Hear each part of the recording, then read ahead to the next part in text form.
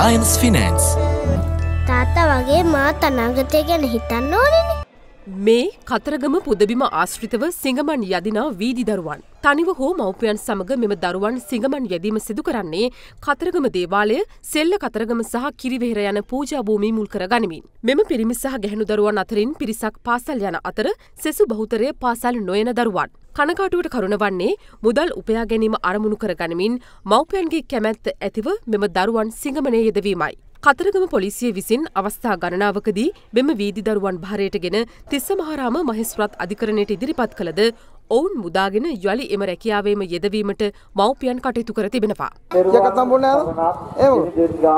එම ප්‍රදේශයේ අප වාර්තාකරු පැවසුවේ මෙම දරුවන් අතරින් පිරිමිලමුන් පාසල් පොත මිලදී ගන්නා බවට පවසමින් වන්දනාකරුවන් මුලා කර මුදල් ඉල්ලා එම මුදල් වලින් මත්පැන් මිලදී ගැනීමටත් කටයුතු කරනු දක්නට ලැබෙන බවයි. එමෙන්ම මේ වන විට කතරගම පුදබිමේ පූජාවට්ටි වෙළඳ සැල් තුළ පෞද්ගලික නවාතැන් පොළවල් තුළ සහ විසිතුරු භාණ්ඩ අලවි සැල් තුළ දරුවන් කුලී වැඩට යොදවා ඇති අයුරුද දක්නට ලැබෙනවා. මේ එලෙස අධික බරකින් යුක්ත පූජාවට්ටි හිසමත තබාගෙන යන දරුවන්.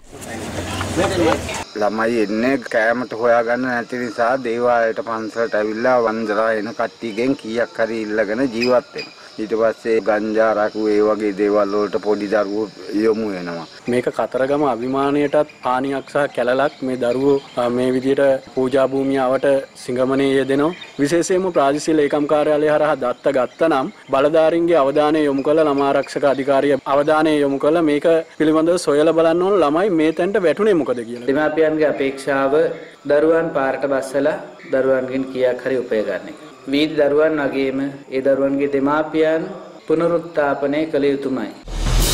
අද දෙරන YouTube නාලිකාව YouTube අද දෙරන දැන්ම සබස්ක්‍රයිබ් කරන්න.